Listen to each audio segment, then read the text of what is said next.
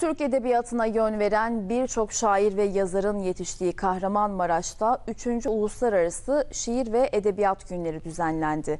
Düzenlenen programda Kahramanmaraş Edebiyat Ödülleri sahiplerini buldu. Elin elimdeydi. Sen bir zümrüt ağ kaydın, elim tüylerine değdi. Kahramanmaraş, şiirin başkenti, yedi güzel adamın şehri. Şiirin ve edebiyatın başkenti Kahramanmaraş'ta 3. Uluslararası Şiir ve Edebiyat Günleri düzenlendi. Program Mehmet Akif Ersoy Kültür Merkezi'nde yapıldı.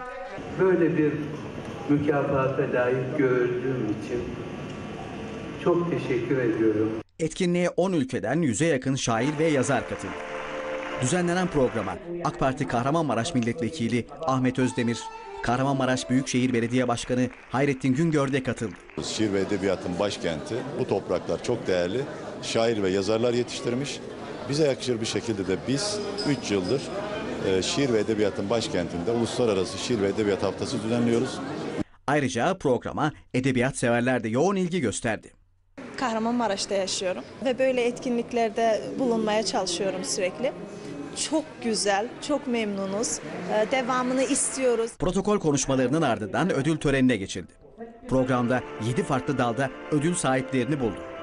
Bu ödüller e, takdir görmek e, edebiyatçının hayatı boyunca görebileceği en güzel günlerden. Bu akşam da benim için çok güzel bir akşam. E, bu ödüle layık gören jüriye e, çok teşekkür ediyorum. Program düzen